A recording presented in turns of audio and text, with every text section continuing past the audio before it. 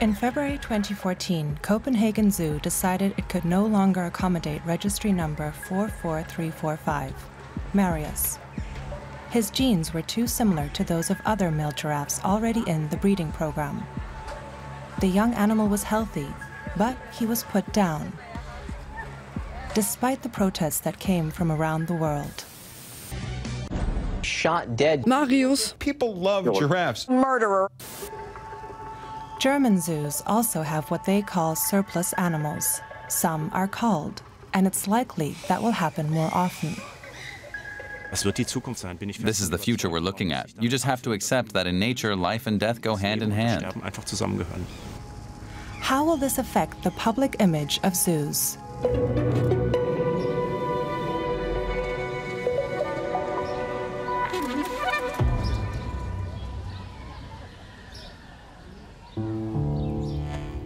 Lions in Wuppertal are fed six times a week. Today, they'll be served goats from the petting zoo.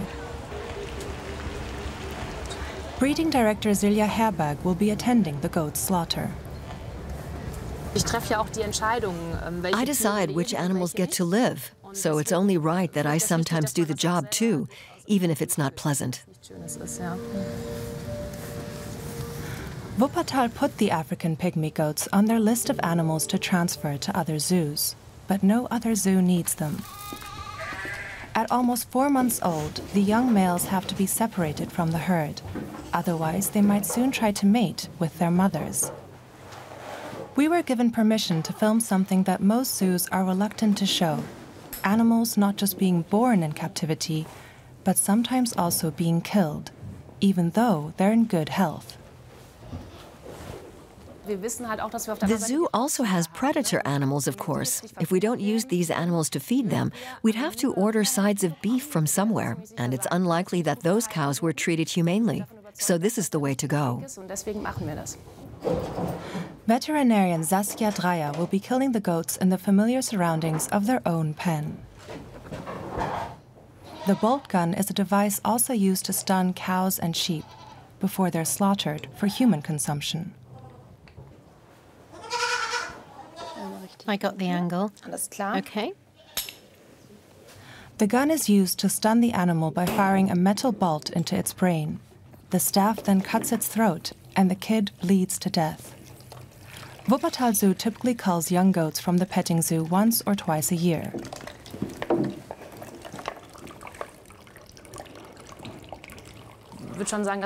You're glad once it's over, because of course it's not something we enjoy. Deciding which animals to slaughter is a moral dilemma. Zoo visitors tend to prefer that the animals fed to others are ones that also end up on our plates. But a zebra? Silja Herberg and zoo director Arne Lawrenz want the public to question their gut feeling. She's not there. Typical. She's not in the big enclosure. So she's got to be somewhere else, maybe in the stable on her own. She's been ejected from the herd. In recent weeks, the male zebra has been bullying a female called Charlotte. If we take a look from the side, yes, there she is. The male zebra has been kicking and biting the female. Charlotte has to be moved. If Silja Herberg can't find her a new home, the zebra might also end up as lion feed. So far, this hasn't become a common practice in other German zoos. Some of my colleagues are afraid of scaring off visitors. There's this idea of zoos as a kind of cuddly, perfect little world like in a Disney movie where everyone's happy. A world where there are only births but there's no death. But we need to talk about reality instead of creating this idealized and unrealistic world for people just so they feel happy. The director would like to see more realistic conditions where visitors get to understand nature's cycles of life and death. But is that likely to happen? To protect the sensibility of the public, most zoos give their predators anonymous meat, with no head or fur, and chopped up into small pieces.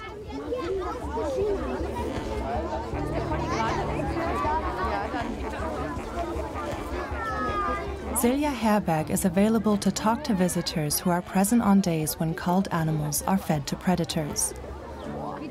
Whole.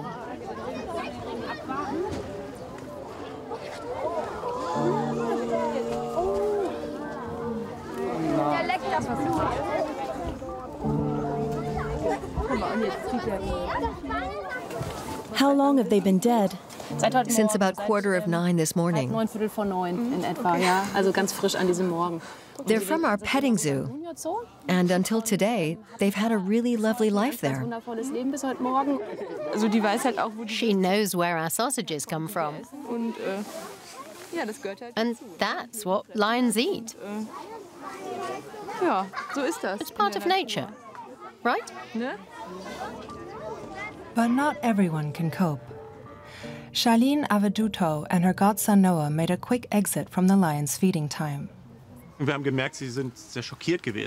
You seemed pretty affected by what you saw. You were shocked, right? Noah was pretty scared, right? It's a bit frightening to see whole animals being fed to others. And you see the blood, too. Mhm. Lions need to eat meat, meaning animals. Normally, we feed our carnivores meat we get from a slaughterhouse, just like you get your steak from a butcher. Since there's no connection to the animal, it doesn't upset you. But this does upset us. It upsets us too. But we feel we need to show a part of the cycle of nature. Yeah. That's nature. It's horrible, but we enjoy the taste of it. And the lions do too.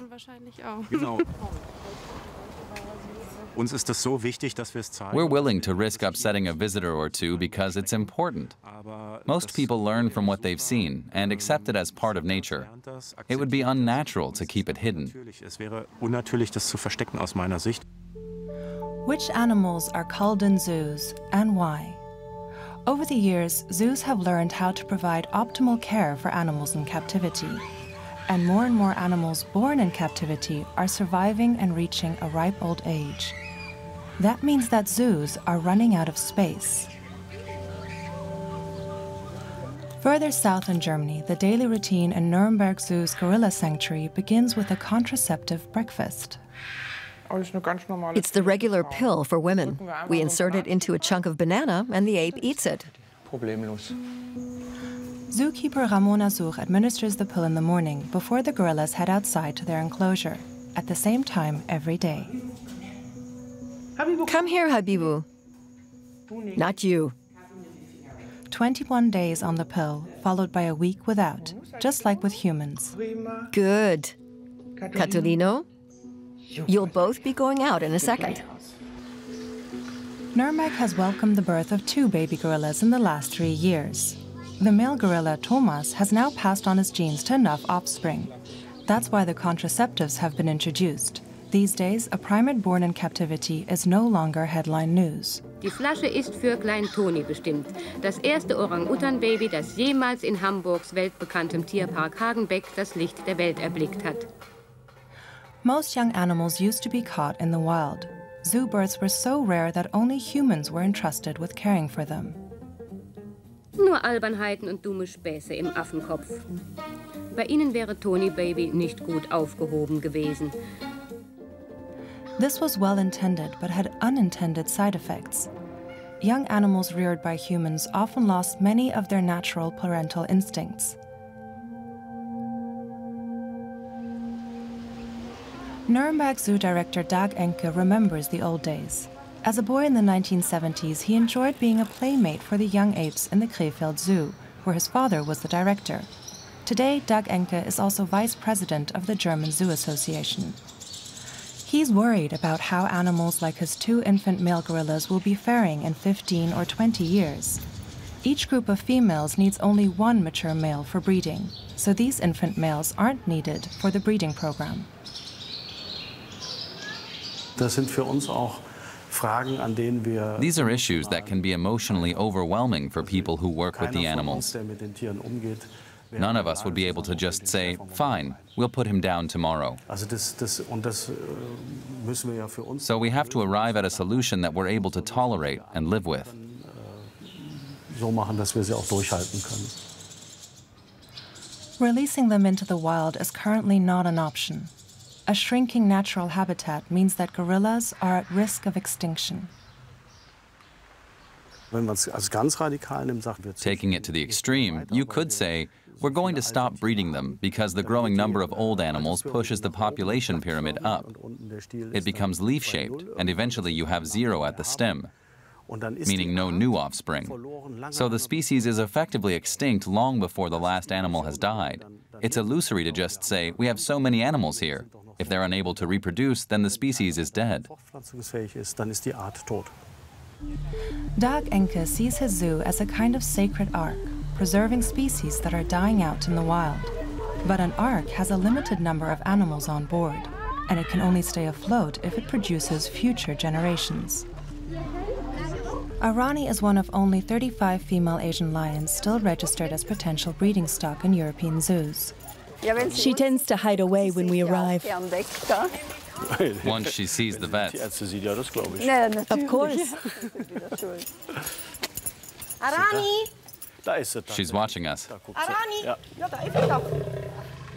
Until August 2021, the lion's compound also included a male called Subali. When he grew older and became sterile, the director raised the possibility of having him put down and replaced with another male. Subali was one of the zoo's biggest attractions, however, and the idea of him being killed provoked a backlash from both the public and the media. Mit großen, traurigen Löwenaugen schaut Subali drein. Subali hat ein Problem. Mit dem Nachwuchs klappt es nicht so richtig. Im schlimmsten Fall muss das Tier getötet werden. Arani is now alone. Subali has been euthanized because he was sick and in pain, says Dag Encke. It's a prime example of the dilemmas you can face with conservation measures involving a highly endangered species. We have the job of preserving and nurturing a healthy population, which means looking extremely closely at using the potential. If there are only 35 fertile female lions available, and one of them is paired with an infertile male, then we have to vacate that spot. So we were really happy that he died. Really? Yes.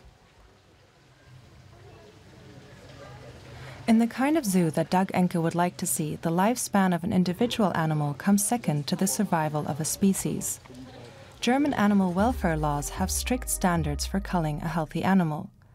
Killing an animal in order to eat it meets that standard, and so does killing one zoo animal to feed it to others. An animal no longer meeting the needs of a breeding program does not meet the legal standard for culling. Germany's Association of Zoo Operators is advocating for those laws to be changed. There are a lot of situations today where there's no good solution for us, for our conscience. We need solutions that make sense in the long term, even if they can sometimes cause us a lot of pain. So visitors will also have to stomach that? Everyone will. Or we have fewer species. There is one country where the setup envisaged by Dag Encke is already a reality. Denmark. In 2014, Copenhagen Zoo euthanized Marius the giraffe because his genes were already well represented in breeding programs. No zoo had a herd that could accommodate him. Veterinarian Mads Bertelsen had been present at Marius's birth and was now the man who pulled the trigger when he was two years old. Bertelsen also publicly dissected the animal in front of visitors. Eight years on, people still regularly ask him about Marius. So this is our commissary where we prepare the food for the animals, and, and actually Marius was dissected right here, and, um, and then later on fed to our lions looks a little bit different today in the sunlight. This kind of public anatomy class is not unusual in Denmark. Well, the people who came to watch here, first of all, paid the entrance fee and then secondly decided to go behind the scenes to watch this. So nobody were inadvertently uh, subjected to this. They chose to be here and, and there were a lot of children here and in fact the children were the ones asking the best questions. Mads Bertelsen is now the zoo's director.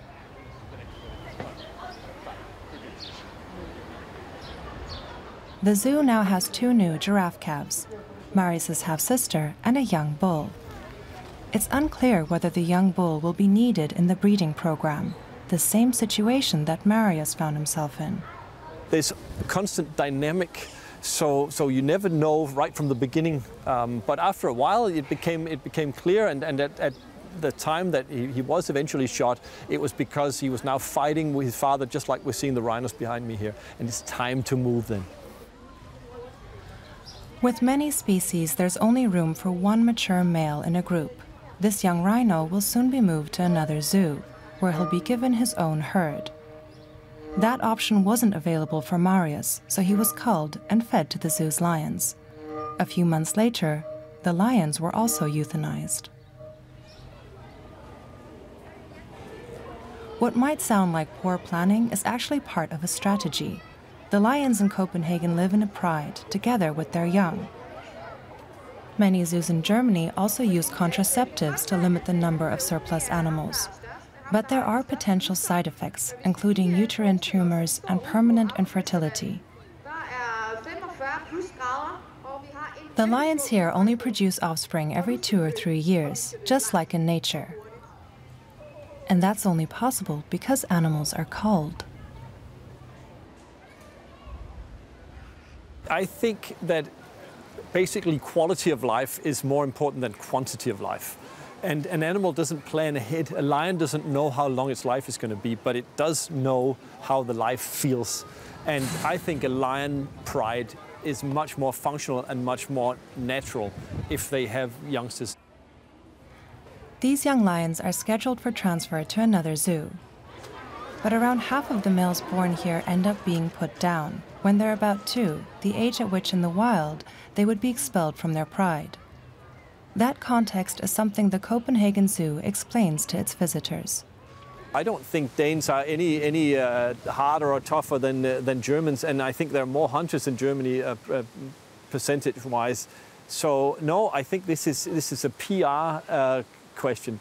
This is just something, and of course the legislation it comes into it. But but this is something that we need to consider very carefully why do we need what do we need to do and then and then do what is right. But who decides what is right? Zoos culling worms insects and mice? What about animals that humans eat too? Or other similar animals? What about animals that would be shot by hunters when humans destroy their natural habitat? What guidelines should we follow? And why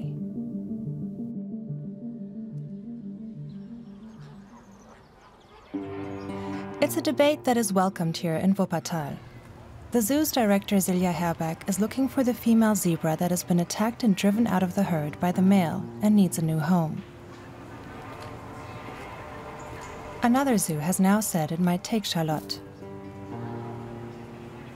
But right now it's too hot to transfer her. We'll have to find an alternative solution, driving overnight. It would be great for her to find a group where she'll be okay. That's the idea. Zoos sometimes exchange animals in situations like this, or to prevent inbreeding. Finding a taker for a female tends to be easier than with males.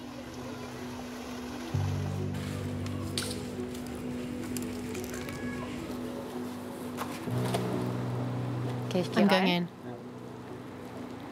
Elephant cow Tika is pregnant. Ja, so ist gut. Veterinarian Saskia Dreyer is performing an ultrasound. But they will only find out the elephant baby's sex when it's born. No, maybe here instead. A female would be good news for the breeding registry. The number of elephants born in zoos isn't high enough to preserve the species. Looks good.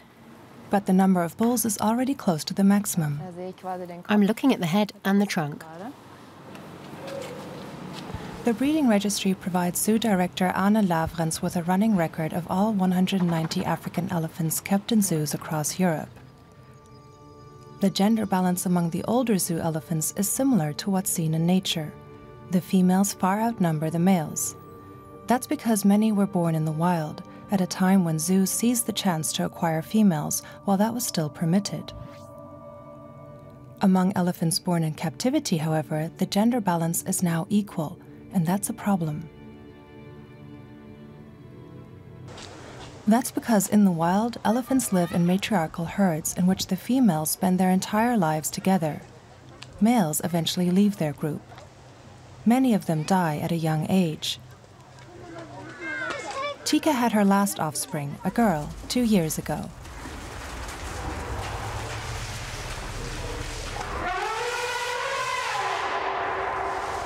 The entire herd supported her during the birth. Elephants have strong family bonds and are extremely social animals. They enjoy playing with the young calves in the herd. A complete halt to breeding programs in order to prevent excess males could destroy their social structures. So, the zoos are looking for compromise solutions.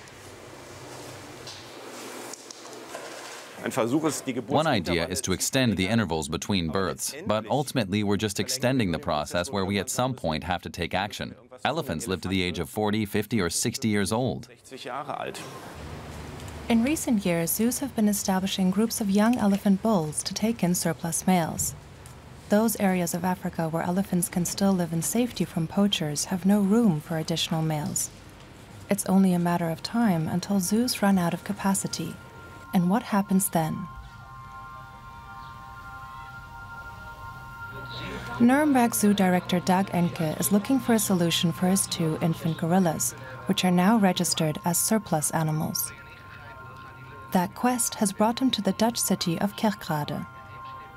Along with the silverbacks and females in Gaia Zoo, there are two gorillas that wouldn't exist in the wild castrated males. Das ist schon sehr it is pretty bizarre, seeing them grow to the size of a regular male while staying extremely thin. And that's not feminine either, because adult females actually get rather fat. So this is a quite unique phenotype. The males were castrated so that their father wouldn't attack them, and they could remain in the group. Dag Encke is meeting with Patrick van Veen, the biologist is a senior advisor to the wildlife conservation group set up by pioneering primatologist Jane Goodall. The zoo's breeding director, Emil Prinz, also joins in. He and his team have been conducting an experiment. They're integrating a new silverback into the group of castrated adult males. That was our biggest worry, him. He was our biggest worry with the introduction of the new silverback um, because we were afraid, because they're the same age and maybe he is competition. It was nothing else than a female, really, for the silverback, I would say. The new silverback doesn't see the castrated males as rivals. The procedure was carried out before they'd reached puberty, which explains their abnormal development. Looks like Kermit the Frog. Yeah, yeah swinging. Yeah. yeah. To provide a healthy social group for surplus males, other zoos are likely to begin castrating young gorillas. In a perfect world, Patrick van Veen would prefer that no primates live in captivity. But the prospects for apes in the wild aren't rosy either. Das Problem ist, dass es in the problem is that there will be no gorillas left in 40 or 50 years' time. They do still exist, but in populations that are no longer sustainable. It looks like the reserve populations in zoos, which still have a healthy balance, will be crucial for any attempts to preserve apes in the wild. Zoos really do have a responsibility to plan ahead for what to do with the animals in the future. Artificial mortality is an absolute no-go. That's something I would never support. I'm afraid we'll reach the point where we have to say, do our ethical standards apply to the species or the individual animal? And how do we reconcile that with reality? Unlike this silverback, the young gorilla males in Nuremberg will never head a group of females. But castrating them means they will be able to grow old in the group they were born into.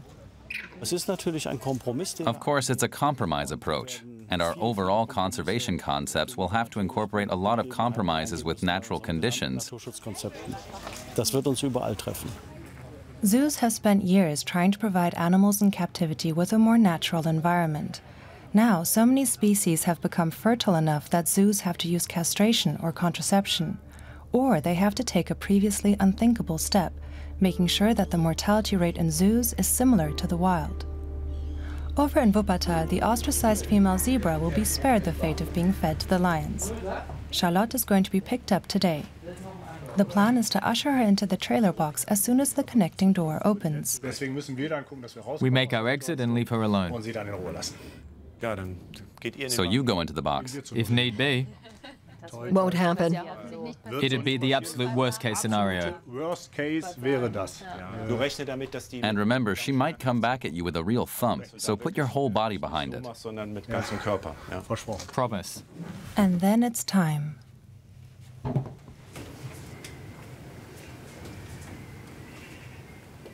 See anything?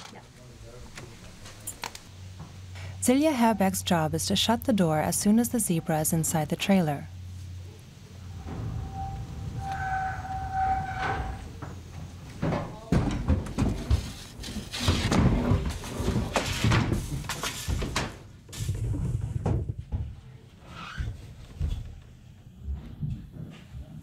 Charlotte has a six hour drive ahead of her to her new home in Bavaria. Cool. In